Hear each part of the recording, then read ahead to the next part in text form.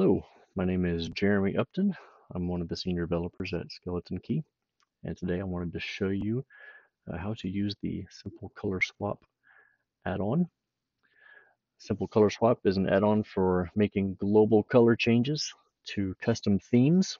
But this is something useful when, for example, you are rebranding a solution for a particular client or otherwise making changes to a solution's colors and you don't want to have to go into layout mode and modify every single style element of your theme where a particular color appears. Uh, that can get pretty tedious and become quite the task pretty quickly. So I'm going to start by bringing on a second window here.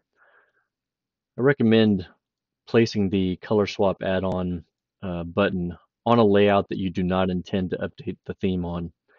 The reason for that is uh, when you install SimpleKolorswap, it's actually going to add a custom theme to your solution. Uh, it's the theme that is used by the add-on itself.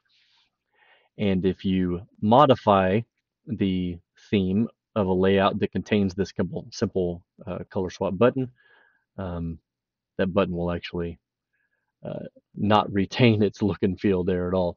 So just for keeping things looking good, we're going to have this button sitting on a separate layout. So maybe like a settings layout or an admin level uh, layout for your solution. When we open the color swap window, we've got a button here on step one that's going to open up our theme manager. I'm going to highlight uh, the theme that I want to import into color swap. I'm going to hit command C to copy that. And in doing that, um, I've copied the full XML uh, from that custom theme and we can see now here down in step three, I can click that button to paste that into the add-on. It's going to automatically parse that out for us and start displaying our colors. So let's talk a little bit about the interface that we've got in front of us here. Um, this screen is a unique list of every color that is referenced anywhere within your custom theme. We can see on the left-hand side here, um, we've got some details on the RGB value and the hex code uh, for each color. Also giving you a button where you can copy that hex code, perhaps if you want to paste that someplace else. Um, in the center here, we've got a popover that gives you a reference of everywhere within your theme that that color is referenced. Uh, these are individual style elements. So for example, you can see this one uh, this is a EB, which is edit box, um, with a, a, bottom border color when it is in focus. So uh, we apparently have a uh, an edit box in our theme that is styled that the bottom border is that color blue when the field is in focus. That's basically what that's telling us. And so you can see uh, some colors will have a whole lot of references. If we go down to a very, very common color like, say, white, pure white, we can see everywhere in our solution, or in our theme rather, that white is referenced. And I want to point out real quick that you can also go to the bottom right here to the style reference. And when we go to here, this is looking at things from the opposite direction. So instead of looking at the unique list of colors, we're now looking at uh, the unique list of all of our um, style elements and the color that they reference. So from here we could uh, search for a particular style, like here's our uh, primary button style. I'll select that and click on the magnifying glass to search. And here is all of the color references used by uh, our primary button. So for example, we've got these different shades of blue here. So there's the uh, normal color, the slightly different color for the hover state, another color for the pressed state, and looks like there is a checked state that has, uh, again, a fourth color there. So just a different way to view um, the colors and get some details on how they're being used in your system. But for the most part, you're going to be doing your work uh, on this screen. On the right-hand side, you can see where we can select to change any color. So I've selected this top one here, the hex code 6689BC, and there's two different ways that I can modify this color. One is I can insert a hex code or just type in a hex code if I happen to know what it is. And we can see it's updated our color here and we can see uh, what the new color is going to be. Alternatively, I can simply click on the color picker here, and what we've uh, been able to give you is full access to um, the color picker that's in use by FileMaker. So you can see we've got our regular color palette here where we can select a color there. We even have the ability to bring up uh, the sliders where we can modify color by RGB or um, hue, saturation, and brightness. Um, however it is that you prefer to uh, enter your color, you can do that. You can see your end result there. And when we click accept, we can see now that uh, this color reference of 6689 BC is now going to be modified to reference this new color A24D uh. And so what this is telling us is everywhere in our solution where this particular hex code is referenced is now going to reference this new color. Um, we can also copy that new color if say we wanted to use it again someplace else and have more than one uh, color modified to that same value. There are checkboxes along the left-hand side, and what those are intended for is oftentimes you'll see in a custom theme that there are slight variations of a particular color that to your eye, certainly to my eye in this case, uh, don't appear to be any different. You can see these top three colors of blue here that I've selected. To my eye, on my screen, they are exactly the same. Though technically on the back end, they are just fractions of a color off. Uh, you can see the slight difference uh, between their hex code values and their RGB values there. But perhaps that was unintentional. Um, perhaps you uh, copied the wrong color or for one reason or another, there was a slight variation of a color that got used in your solution, and your intent is for that not to be the case. You really just want there to be one version of this blue, and so you want to roll these up uh, in your solution. So we have 32 items that are referencing this color, eight items that are referencing the second one, and 57 that are referencing this. I really just want all of these to reference one version of this blue. So I've selected these three colors here, and I'm just going to pick this top one you can see now that this uh, little blue arrow icon has been highlighted saying that these three colors that I've selected are going to be rolled up and they're all going to use this version of the blue now. Down here at the bottom, I'm going to combine selected. And in just a few moments, I'll get an update. And now we can see we have 97 items all referencing that same color blue. And I can do the same thing down here. Let's say I actually want all of these variants of light blue to just reference this one right here. So I'm going to select all of them, highlight that one to be my color where things are getting rolled up, combine them.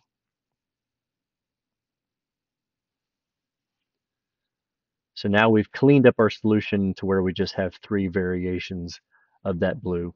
Uh, perhaps that's my normal state, hover state, and pressed state, for example, would be those three uh, variations of blue.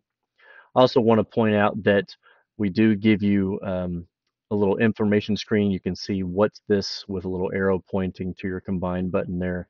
If you click on that, it'll give you some details on exactly how this is working and some of the behavior uh, that you might expect to get out of it in different situations. So let's take a look at um, what it takes to actually recolor our uh, sample layout that we have here. Um, in our little sample file here, we've got a primary color that's our blue, and we've got a secondary color that is an orange. So let's say I want to rebrand this maybe for a different client that has a different color scheme, and their colors aren't blue and orange. Maybe their colors are purple and green. So I'm going to come in here to my main color blue. Let's change that. We'll go find the green that they use. Actually, let's do purple for this one. I just like to start with that one. So there's purple. Now we happen to know that this second lighter color of blue is our hover state, and this lightest color is our checked or our pressed state. And so what we want to have is a slight variation of our new purple for our hover and press state. So what I'm going to do is I'm going to copy that original purple that I selected, come down here to the next one, paste it in. But then I'm going to go in and using the color picker, I'm going to modify my saturation and my brightness to get a slight variation on that purple for my second. And that you may not even be able to tell on the video that's any different at all, but it's slightly different. And then let's do another one for my pressed state. I'm going to copy this second one now, paste it in. Let's go in here. I'll make this one a little bit more obvious so that you can tell on the video there. So now we have three shades of that purple for my new primary color. Right down here are the three variations of my orange that I want to change now to green. So I'll pick a green there. We're going to do the same operation, copy that, paste it in there, and we're going to make a variant of it. Change the saturation and the brightness. And let's do another one here for the pressed states. And of course, this does require you to just have knowledge of your own solution and, and how you've handled different states to be able to do it.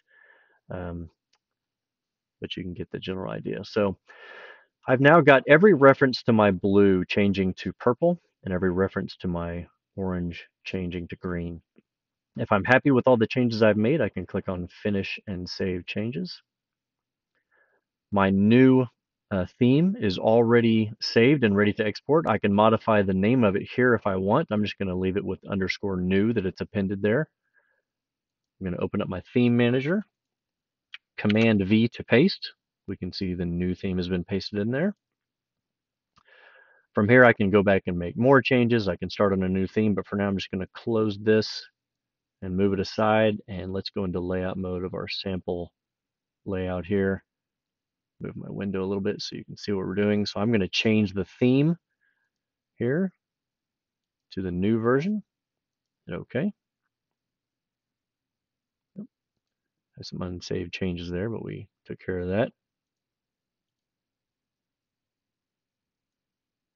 And with just a few minutes of work, we see that we have recolored our entire solution.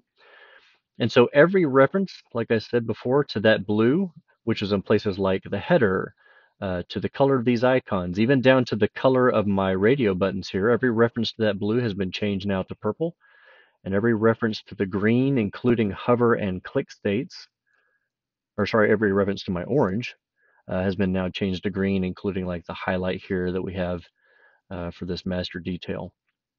So extremely easy uh, to change an entire color scheme um, on your solution uh, to a new one. I want to point out another uh, little fun thing that we've included here, actually a couple other fun things. Um, the first one is um, you may have a situation where a client um, has you create a color scheme for them and maybe they like to have some users that uh, enjoy working in dark mode. Well, we can do that for you. I'm going to open up Color Swap again. I'm going to bring in my new theme that I just created. So there's my new version. Copy it. Paste that in. Here's the new theme here with my purple and green.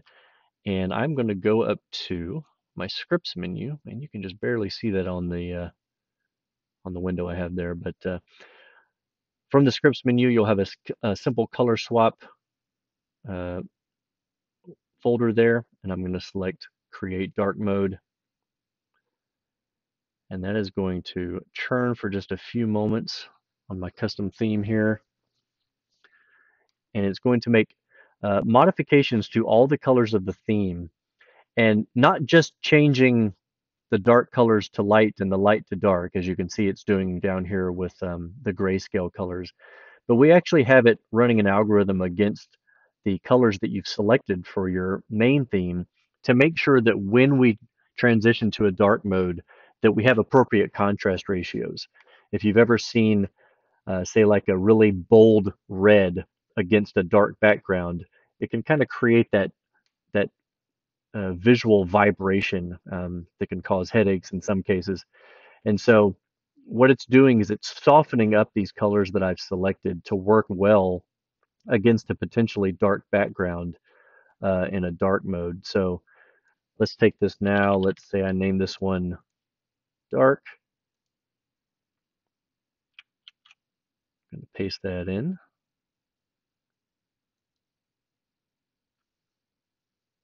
And close this window now. And let's go into layout mode again. There's my new dark mode.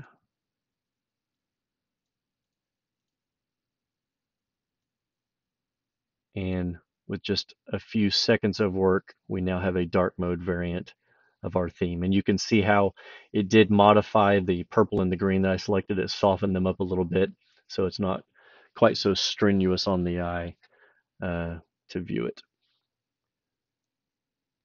So a couple things that I want to point out here just at the end of this video about uh, using the add-on. It's going to be very important that you use a theme that is uh, fully saved, a custom theme that's uh, fully saved, fully saved with no um, local styling. Uh, any local styling on a layout uh, that exists when you change to a different theme is going to be reverted to uh, default styling, which in some cases is not reversible uh, by simply saying undo. Um, kind of depends on your order of operations there, but it is highly recommended that every element, every layout object uh, that you have is saved to a style in your custom theme before you attempt to start making changes uh, with this tool uh, just to get best results. Uh, but with that, I hope you get a lot of use out of it. certainly appreciate you taking a look taking a look at it for us. And if you have any questions, you can always contact, contact us at skeletonkey.com. Thanks.